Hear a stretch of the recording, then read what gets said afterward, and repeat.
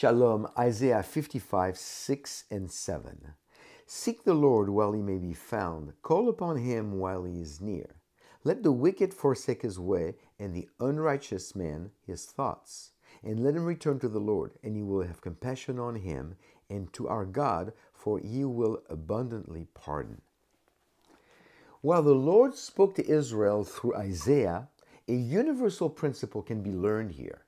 People can seek the Lord while they still have time. There is no second chance after death.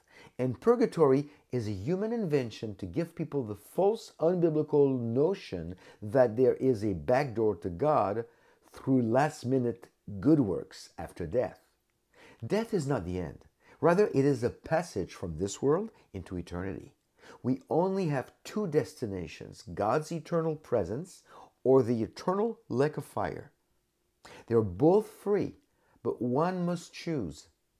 Once we choose, God not only does He forgive our sins, past, present, and future, but He abundantly pardons. Procrastinators are enabling the enemy a foothold that might become detrimental to their future. Today is the day to come to the Lord or return to Him. Be blessed.